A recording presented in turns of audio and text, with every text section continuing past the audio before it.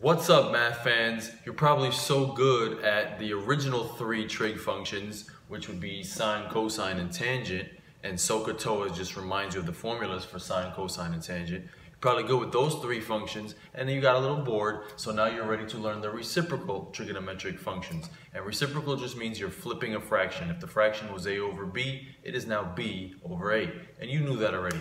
So here's three new formulas that they look even more complicated than they are.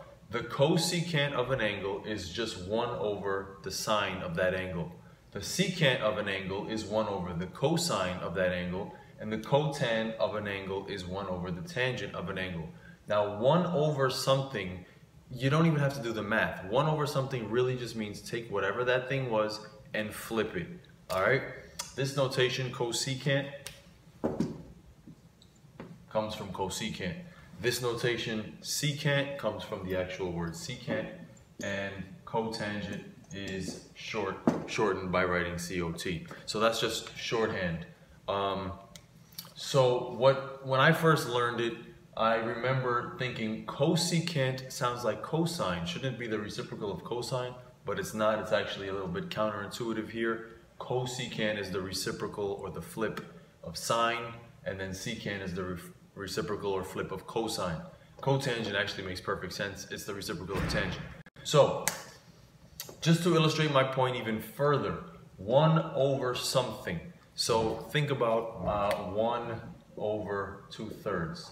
1 over something really means 1 divided by that something. And if you learned way back, when you're dividing fractions, you actually multiply by the reciprocal. I call that keep, change, flip. So 1 can be rewritten as a fraction 1 over 1 times, let me flip the 2 thirds as 3 halves. And guess what? That's now 1 times 3 is 3, 1 times 2 is 2, and it's 3 halves. So 1 over something really just means flip it. That's it. So all these three things, I'm just saying flip it. Flip what? Flip whatever you need. So in this question, if sine of theta is 5 over 13, find the secant of theta. What am I asking you to do? I'm asking you to find the secant of a given angle.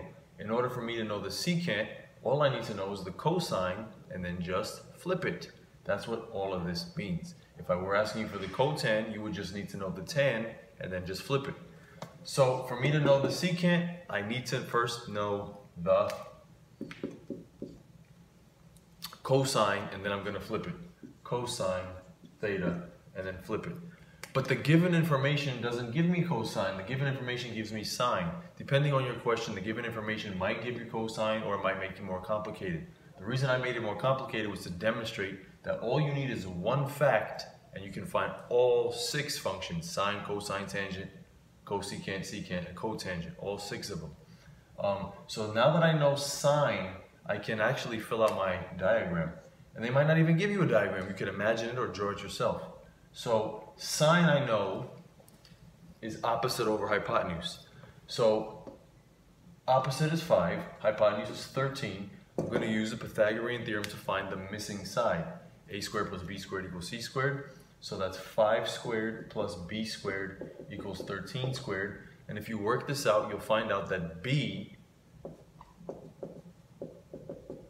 is, uh, if I subtract 25 from both sides, that gives me 144. So B alone is 12. So I would put a 12 there. Now, if you're labeling your sides, if this is theta, there is opposite over there. Here's hypotenuse, of course, the longest side opposite the right angle. And next to my theta is adjacent. So if I was curious and nobody asked me this, or actually I need to know it first, the cosine of theta is 12 over 13. See, I knew one thing, I now I already know two things. 12 over 13. So if you need to know the secant, I just flip it and I'm done. If you have to rationalize, if there was a radical here and I had to rationalize, I would do that too, but I don't have to in this particular case. So the secant of theta is equal to 13 over 12, and I'm done. What if they asked for cosecant? So cosecant is what? It's the flip of the sine. Well, that would have been straightforward, real easy, because you already told me the sine is 513. Flip, 13 over 5. 13 over 5. Um, what if they confused you and asked you for the cotan? What if they asked for the cotan of theta? Well, then you would have to first figure out the tangent of theta, which is opposite over adjacent, 5 over 12, and then flip that, giving you 12 over 5. So again, once you know one thing, you know all six functions. Um, some people don't learn it or don't teach it like this. They don't waste time finding the sine and then flipping it. All they do is just flip all the formulas. So instead of saying opposite over hypotenuse, they immediately say hypotenuse over opposite. For this, they'll immediately say adjacent, uh, hypotenuse over adjacent, and here they'll say adjacent over opposite. So they actually just flip the formulas themselves and then go straight to the answer. Whatever works for you. All right, thanks for watching. See ya.